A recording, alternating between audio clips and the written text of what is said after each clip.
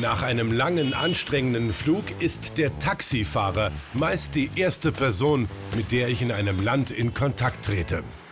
Sie sind auch oft eine gute, verlässliche Quelle für Geschichten rund ums Abzocken. Und manchmal sind sie auch Teil unserer Sendung. In Deutschland ist Taxifahren ja schön behördlich reguliert. Da kann eigentlich nicht viel schiefgehen. Taxameter, geeicht, wird angeschaltet und man weiß, was man am Ende zu zahlen hat. Ja, in manchen Urlaubsländern ist das ganz anders. Erst recht, wenn ein Tourist an Bord sitzt, ist die Abzockgefahr relativ hoch. Das haben wir auf vielen Drehs schon erlebt. Ganz besonders in Vietnam, in Hanoi.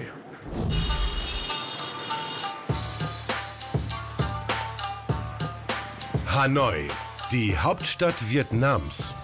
Eine typische asiatische Großstadt. Ruhig geht es hier nie zu.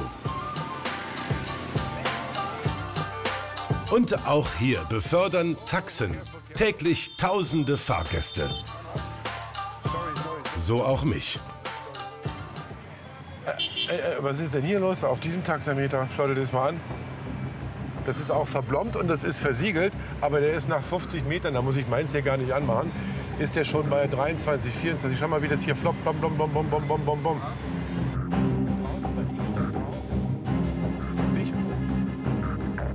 Schau dir mal, wie, wie, wie unregelmäßig der hochgeht. Alle paar Meter ein paar tausend mehr. Was ist denn hier los? Was ist denn? Ach du liebe Zeit. Das ist ja so ein richtig, das ist ja, das ist ja wirklich eine ganz, das ist ja eine richtig kriminelle Manipulation, was auf dem Taxameter da passiert. Schau mal, wie das jetzt hier hochgeht. Völlig ohne irgendwelchen Zusammenhang. Das hat einer dran gedreht und geschraubt. Das ist ein richtiges Betrugsinstrument. Schau dir das mal an. Schau mal, was hier passiert. Schau mal, was hier passiert. Das habe ich noch nie in meinem Leben gesehen. Ich hoffe, dass da Polizei vor der Oper ist, weil das musste eigentlich den Behörden melden, was der hier macht. Das ist ja nicht zu glauben. Meine Taxi-App zeigte den eigentlichen Fahrpreis an. Es war nur ein Bruchteil dessen, was die Betrugsmaschine verlangte. Dieser Taxifahrer versucht mir gerade den 60-fachen Preis abzunehmen. Das war eine der teuersten Taxifahrten meines Lebens. 900.000. 900? Da ist ja fast eine Million. 100.000 pro Kilometer. 101 Kilometer. Knapp 40 Euro für eine Fahrt, die knapp einen Euro kosten dürfte. Soll ich die Polizei rufen? 10 Dollar, 10 Dollar. Keine 10 Dollar, du hast gesagt eine Million. 200.000 Dong. Nee, nee, nee, lass mal die Polizei rufen lieber. Ah, ich habe das alles auf Video hier. 100.000. So nicht. Wir holen die Polizei. 100. Schnell ausgemacht jetzt hier, die eine Million. Der Mann ahnte das Unheil, versuchte aus der Nummer rauszukommen, reduzierte den Preis um fast 90 Prozent. Das Ding hier ist manipuliert, ein Fake. Du hast da irgendwas gemacht dran. Hey, n- nimm deine Finger da weg. Ein geeichtes Taxameter sieht anders aus. Das ist illegal. Du würdest dafür in den Knast gehen hier. Ja, Gib mir die Kohle und hau ab. Gar nichts zeig. Sei froh, dass du um eine Anzeige rausgekommen gekommen bist. Dafür sollte man ins Gefängnis kommen. 100.000. Ich zahle gar nichts. No, no, Komm, zieh einfach Leine. no, no, no. Nee, ich habe hier den Beweis. Ich hab's auf Video. Hau von der Ey, Tür ich hol die. Polizei.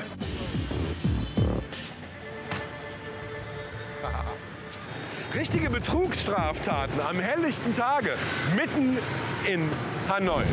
Sowas nennt man übrigens in Fachkreisen Reporterglück. Wenn ich ausgerechnet in das Taxi einsteige, wo die betrügerische Maschine tickt. So ein Reporterglück, das ist eigentlich selten.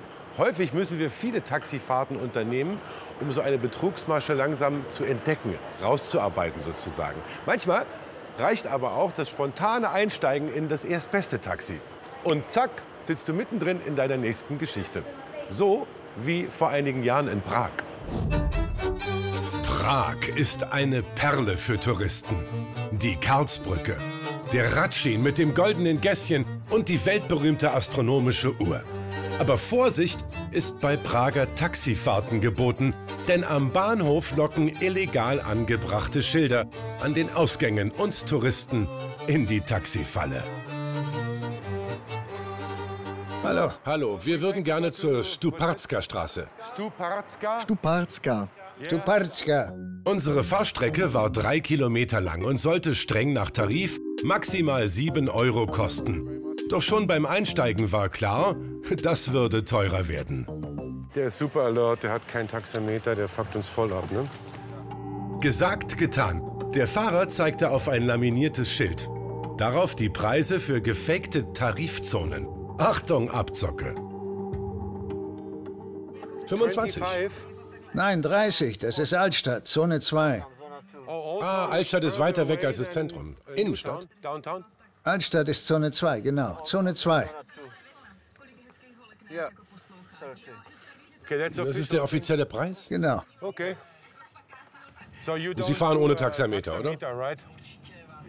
Die Taxen am Bahnhof haben keins. Die fahren immer Fixpreise. Ja, am Bahnhof gibt es keine Taxameter, nur Fixpreise. Ahnt natürlich jeder, dass das jetzt hier gerade eine Lüge war, ne? 30 Euro für drei Kilometer sind in jedem Land der Welt Abzocke. Ich ließ mich natürlich trotzdem fahren. Wir wissen ja, wie es ist. Es gibt keine Spezialtarife, keine Pauschaltarife. Wir werden hier ausgenommen wie eine Weihnachtsgans gerade vom allerersten Taxifahrer, den man am Prager Hauptbahnhof überhaupt findet. Ja, das ist schon. Eigentlich müsste man die Polizei holen. Denn bei Verstoß gegen die offiziellen Tarife droht dem Fahrer der Entzug der Lizenz. Diese Fahrt wird nicht 7 Euro kosten, sondern mehr als viermal so viel, also über 30 Euro. Welche Nummer? Nummer 16, ein bisschen weiter noch. Gleich hinter dem roten Auto können Sie halten. Hier, gleich hier. Ja, ist gut, ist gut, gut, gut, gut, gut. Perfekt. Okay. Danke. Moment, äh, ich hol das Geld. Doch statt der Geldbörse packte ich die Kameras aus. Jetzt mal Tacheles. Wie viel willst du? Wie bitte? Gib mir nochmal die Preisliste. Den Preis habe ich dir schon gesagt. Was? Wir haben den Preis schon besprochen. Gibst du ihm mir nochmal? Sag mir nochmal den Preis. Es ist. Äh, Weil ich sehen will, wie du mich abgezockt hast. Du hast versucht, mich zu betrügen. Mit diesem Preiszettel da, den du gezeigt hast. Ich arbeite fürs deutsche Fernsehen. Wir haben in zwei Minuten die Polizei hier. ich rede nicht mit der Polizei. Du wirst hier bleiben und wir werden das mit dir besprechen. Wenn du abhaust, werden wir dich melden bei der Polizei. Natürlich rückte er die laminierte Preisliste nicht mehr raus. Das wäre nämlich der Beweis für die Masche gewesen. Er wollte weg. Aber ich ließ ihn noch nicht. Mach gefälligst die Tür zu. Ich mach die Tür nicht zu. Warum? Weil du versucht hast, mich zu betrügen. Das geht nicht. Tür zu, ja? Selbst ist der Mann. Mit offenen Türen konnte er nicht flüchten.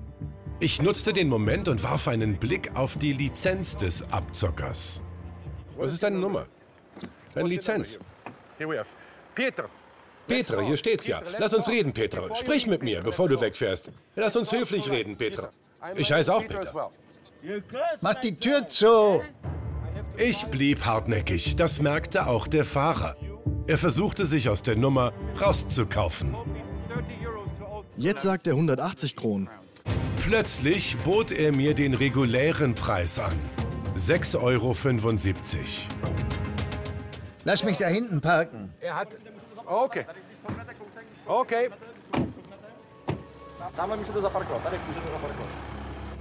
Ich dachte, er würde zur Vernunft kommen. Aber anstatt zu parken, wollte er abhauen. No, no, no, no, Peter. No, no, Peter. Don't Mach fuck keine Dummheiten. Petro, mach keinen Scheiß. Du verlierst deine Lizenz. Why are you jeoparding your license? Why Warum are you riskierst du deine Lizenz? Verpisst euch. Peter, Mach das jetzt nicht. Pull me over. Hier ist eine Einbahnstraße. Das war's, Petra. Hör auf. This is it, Peter. Stop it. Peter, stop it. Und hier kommt die Polizei. Ja, lass ihn da reinfahren. Da ist okay. Okay, zum Glück haben wir hier ein paar Prager, die uns jetzt helfen, weil die kennen Situation. Kein Mensch, der in Prag wohnt, will, dass mit ihm so umgegangen wird. So, now we Und jetzt the holen wir die Polizei. Peter. Was machst du denn? Ich gehe. Wir folgen dir sowieso. Du stiehlst unser Geld. Du hast 30 Euro verlangt vom Bahnhof hierher. Ich folge dir, egal wohin. Ah, da ist die Polizei. Ich zog es durch, denn er hatte mich betrogen. Und ohne ihn als Taxifahrer sind die Prager Straßen sicherer. Was sollen wir denn machen, wenn er jetzt wegrennt und abbaut und alles macht? Peter. This is it. Jetzt stehst du mal. You stay here. All right, dobrý den. Hello. Yes, please, please go ahead. Everybody gone, everybody gone. Hello there. Ich erklärte den Beamten, was passiert war. Eine Straftat nahmen sie nicht auf, empfahlen jedoch eine Anzeige wegen Betrugs. So eine wunderschöne Stadt und so viel dreiste Taxifahrer. Das macht mich eigentlich ein bisschen traurig. Vor allem die vielen tausenden ehrlichen Taxifahrer in Prag, und die gibt es ganz sicher, die haben Typen wie ihn nicht verdient und deswegen muss er von der Straße geholt werden. Zum Glück gibt es dafür in Prag eine spezielle Polizei. Die kommt gleich. Die Mestska Policia. Die kommunale Polizei übernahm die Angelegenheit. Sie befragte den Fahrer, durchsuchte das Taxi und nahm die Personalien auf. Am Ende stand ein Verfahren gegen den Mann. Über den Ausgang der Sache habe ich leider nie wieder eine Information bekommen. Am Tag der Abzocke aber war jedenfalls Feierabend.